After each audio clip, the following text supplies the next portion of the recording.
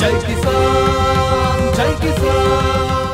ఆంధ్రప్రదేశ్ ప్రయోజనాల్ని ఢిల్లీలో చంద్రబాబు నాయుడు గారు ఏ విధంగా తాకట్టు పెట్టాడని నిన్న మరోసారి రుజువైంది.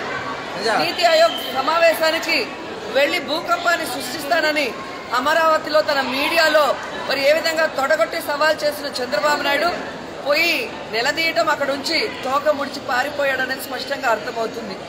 ఈరోజు జగన్మోహన్ రెడ్డి గారు బీజేపీతో లాలు చేయడని తన మీడియాలో బురద జల్లుతున్న చంద్రబాబు నాయుడు నీతి ఆయోగ్ సమావేశాల్లో ఏం చేశాడో చూస్తే మీకే అర్థమవుతుంది. మోడీ గారు ముసిముసిగా నవ్వుతుంటే చంద్రబాబు నాయుడు ఎంత వెకిలినిగా నవ్వుతూ షేకండ్లు ఇస్తూ వంగి వంగి నమస్కారాలు పెట్టడం చూసి ఈరోజు ఏపీ ప్రజలు నిర్ఘాంతపోయారు.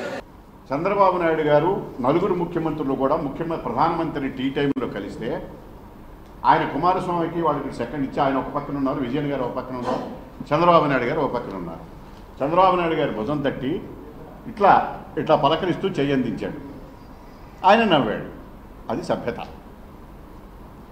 దాన్ని వెనక ఎడం చేత్తో ఇచ్చాడు కుడి చేత్తో ఇచ్చాడు లేకపోతే ఈయన వంగి నమస్కారాలు చేశాడు అనేటటువంటిది సంస్కారహీనమైనటువంటిది. భాష. ఆ రకమైనటువంటి భాష. వంగి నమస్కారం చేయలే.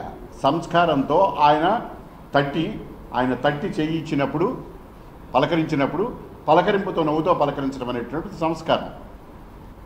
మరి మీ విజయసాయి రెడ్డికి మళ్ళీ వెళ్ళి పాదాబంధనం చేయలేరు ఆచారం విఘ్నత భాష సంస్కృతి నేర్చుకోవాలని చెప్పేసి సూచిస్తున్నాం. ఈ వీడియో మీకు నచ్చినట్లయితే లైక్ చేసి మీ ఫ్రెండ్స్తో షేర్ చేయండి. మరిన్ని ఇంట్రెస్టింగ్ వీడియోస్ కొరకు మా ఛానల్ని సబ్స్క్రైబ్ చేసుకోండి.